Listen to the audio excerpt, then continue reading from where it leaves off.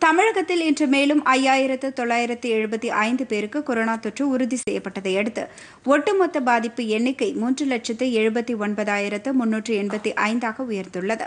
இன்று ஒரே நாளில் ஆறாயிரத்து நாற்பத்தி ஏழு பேர் குணமடைந்ததால் இதுவரை குணமடைந்தோரின் எண்ணிக்கை மூன்று லட்சத்து பத்தொன்பதாயிரத்து முன்னூற்று இருபத்தி ஏழாக உயர்ந்துள்ளது.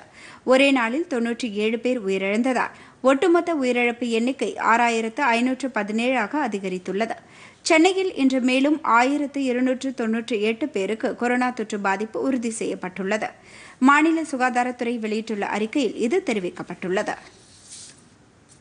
பொதிகை செய்திகளை யூடியூபில் தமிழ் நியூஸ் தூர்தர்ஷன் என்ற சேனலிலும் முகநூலில் டிடி பொதிகை நியூஸ் என்ற பக்கத்திலும் ட்விட்டரில் டிடி நியூஸ் சென்னை என்ற பக்கத்திலும் இன்ஸ்டாகிராமில் டிடி பொதிகை நியூஸ் என்ற பக்கத்திலும் காணலாம்.